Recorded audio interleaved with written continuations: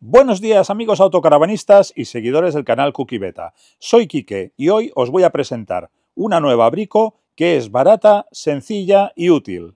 Muy práctica y al alcance de todo el mundo. Veréis cómo os gusta. Si os interesa, os la muestro después de la intro.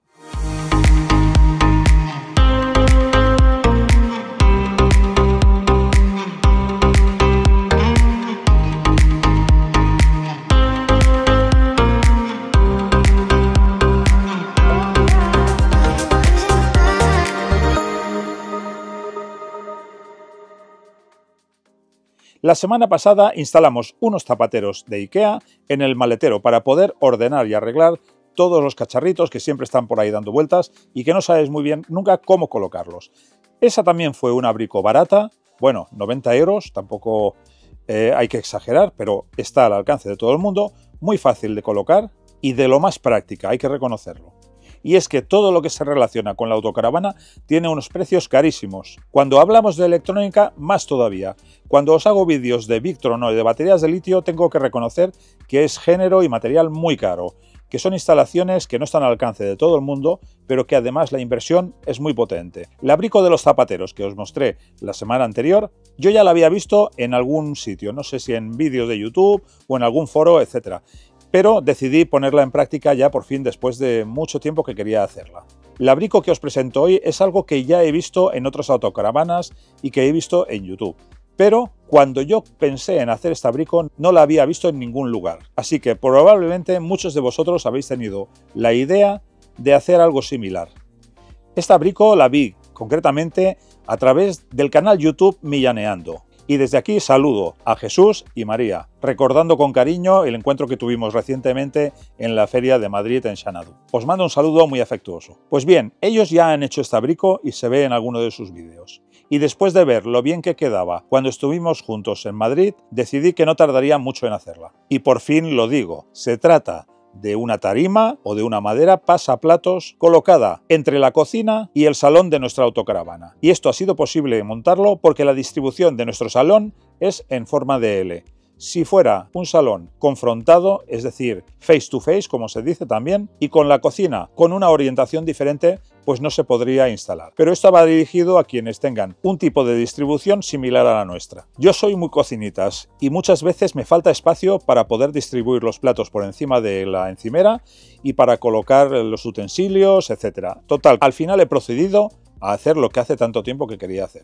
Precisamente esta madera, que es una madera muy baratita, alrededor de 15 euros, y hemos conseguido que sea del mismo color que el mobiliario que ya tenemos en la autocaravana. Con un par de escuadras metálicas suficientemente rígidas, hemos conseguido la sujeción y la rigidez necesaria para hacer este brico. En total, como máximo, hemos gastado unos 20 euros. Los cabezales del asiento me han complicado un poquito la vida. Otra cosa que hay que tener en cuenta a la hora de poner una madera o un pasaplatos justamente por encima del cabezal de ese asiento son los pasajeros que vayan habitualmente sentados en ese asiento. Nosotros no llevamos pasajeros habitualmente y lo hemos montado a la altura que a nosotros nos ha convenido, para que no toquemos con la parte posterior de la cabeza contra esa madera. No obstante, la posición de esta madera se puede modificar fácilmente y que cada cual la instale como mejor le convenga. Nosotros hemos preferido priorizar espacio en la cocina que comodidad en ese asiento que no se utiliza nunca. De manera que ese pasaplatos tanto puede colgar hacia la derecha como hacia la izquierda,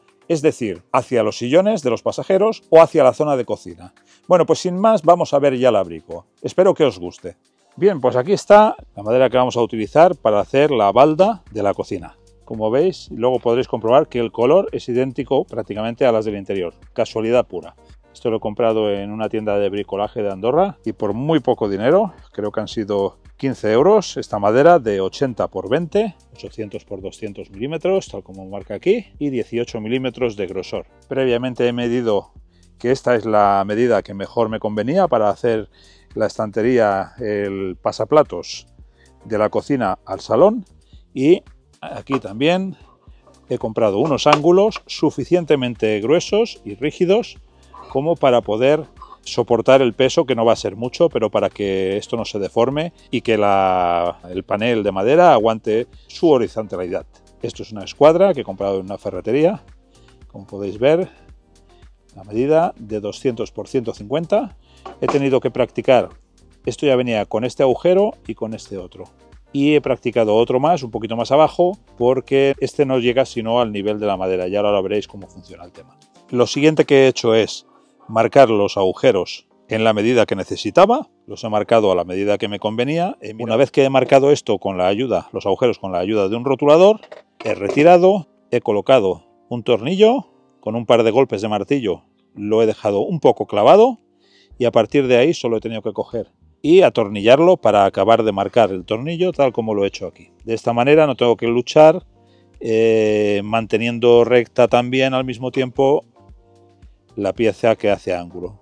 Así que he sacado los tornillos y lo siguiente ha sido muy fácil, como en este lado, ya atornillarlos. He puesto también una arandelita, aunque no hacía falta, pero he preferido tener este acabado un poquito más fiable y sobre todo para que los tornillos no atravesaran la madera, ya que vienen justitos, como podéis ver aquí, la altura del tornillo eh, sobrepasa un poquito, pero contando con el grueso que tiene el ángulo y la arandela no hay ningún problema, no va a sobrepasar. Y la prueba está, ahora os lo muestro, cuando damos la vuelta a la madera y como se puede ver los tornillos no han sobrepasado en ningún momento el espesor de esta madera, de esta balda, que son 18 milímetros. Así que coloco el angulito y atornillo muy fácilmente porque ya estaba preparado el agujero. Solo hará falta acabar de enroscarlo hasta el fondo. Y compruebo finalmente que se ha mantenido la misma distancia en un lado que en otro. Ya tenemos la balda preparada con los dos ángulos puestos. Ahora vamos para adentro a la autocaravana para colocarlo. Bien, pues así es como va a quedar.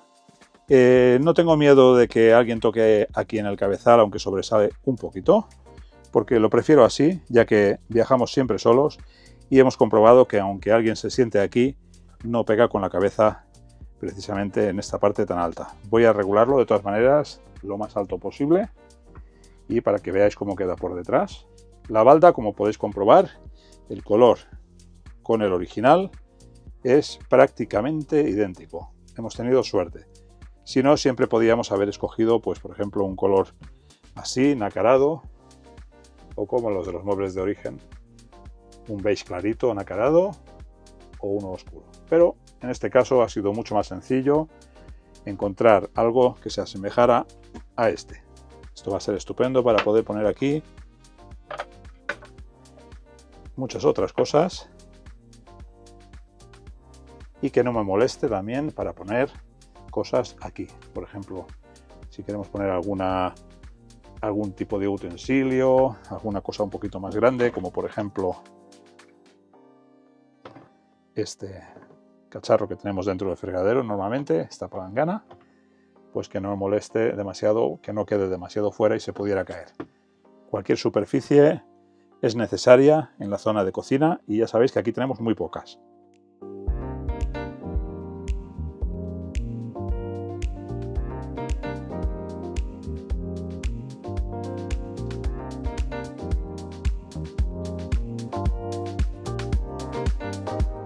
Con un destornillador cortito porque me molesta esta zona de aquí.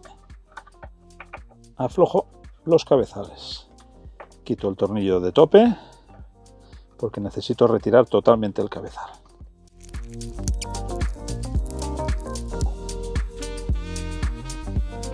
Perfecto. Ahora vamos a colocar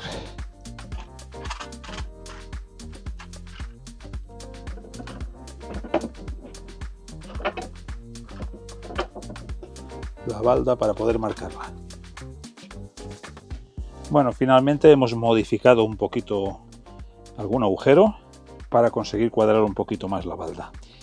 Nada importante, hemos premarcado los tornillos previamente, he empezado a hacer el agujero para que ahora los pueda colocar simplemente con la mano y que así la balda se me aguante sola.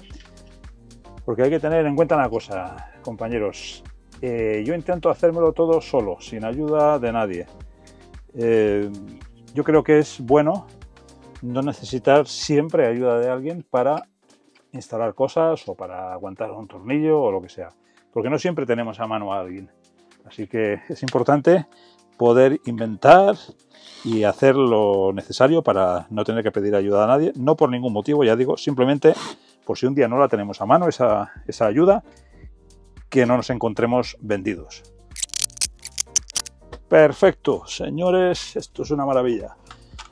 Quito los gabarits, lo que me ha servido de apoyo para colocar la balda. Y aquí no tiene que ir demasiado peso, o sea que no hace falta atornillarlo demasiado fuerte. Me refiero que no hace falta poner más tornillos o nada más rígido. Esto queda perfectamente cogido.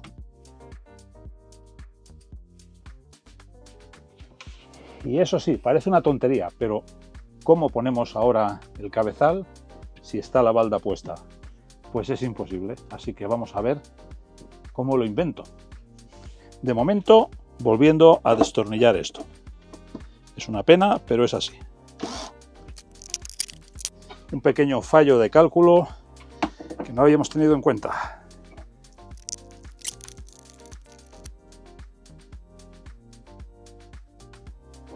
Otro pequeño problema técnico. Hay que ser tonto, pero es así. Si ahora quiero poner la balda, no puedo porque me choca con la parte alta de los cabezales. Y si bajo los cabezales, pues no puedo atornillar los tornillos del soporte de la balda, del ángulo. Así que nuevamente vamos a tener que sacar los cabezales. Pues bueno, el pequeño error de cálculo que hemos tenido es que como vamos a atornillar los tornillos del angulito que baja hasta aquí, si quedan los tornillos por detrás del cabezal. Y este no me deja llegar con el destornillador. Pues la cosa va a ser la siguiente. Vamos a quitar los tornillos del cabezal para colocarlo después. Así que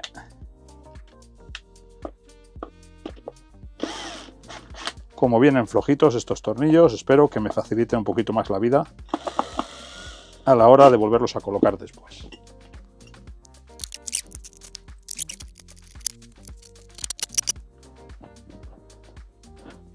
Estamos atornillando los tornillos del cabezal desde abajo porque si no, no hay otro medio de hacerlo. O los cabezales o la balda se quedan sin atornillar.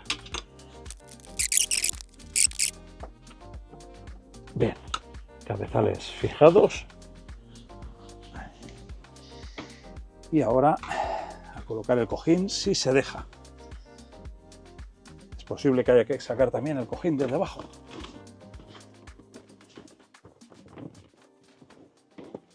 pues efectivamente no se deja.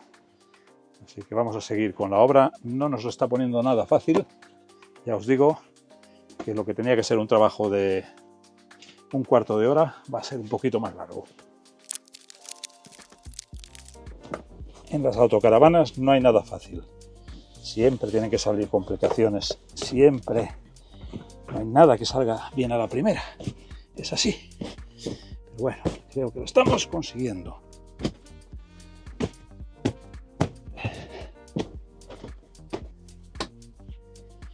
y como colofona este trabajo, cojín. Perfecto. Vale, pues ya está colocada. Todo atornillado, todo sujetado y todo en perfecto orden. Vamos a dar una vueltecita para que veáis cómo queda.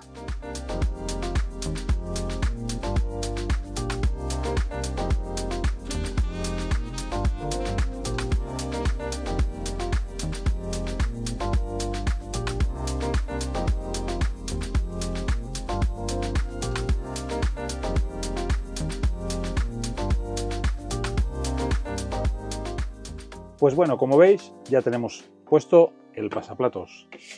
Perfecto, ideal para poner aquí cositas mientras cocinamos o antes de servirlo a la mesa.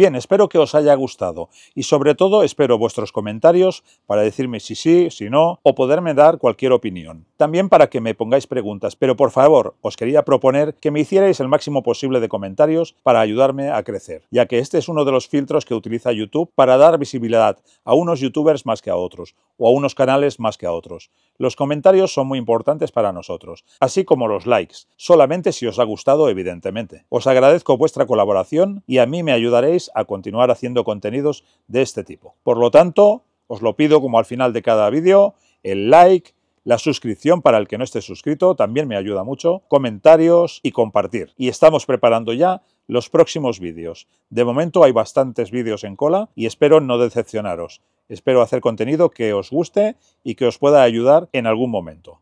Así que compañeros, os emplazo al próximo vídeo. Hasta entonces, muchas gracias y un saludo. Hasta pronto compañeros.